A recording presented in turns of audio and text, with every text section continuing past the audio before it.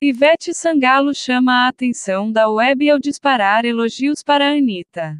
Em 28 de julho, 2021 parece que as supostas desavenças entre a cantora, Ivete Sangalo, e Anitta, chegaram ao fim. Na última terça-feira, 27, a artista disparou alguns elogios para a Girl From Rio, durante a nova temporada do Música Boa ao Vivo, que foi gravado em Salvador.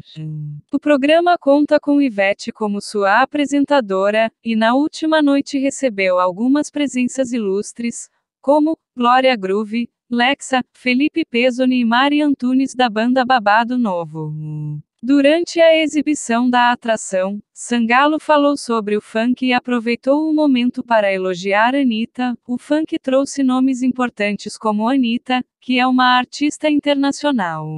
Está em todo canto. A gente ouve falar em Anitta em todo canto, disse a cantora, que ainda elogiou outros nomes famosos que também cantam o gênero musical, que são eles, Ludmilla, Pablo Vittar, Poca e Lexa.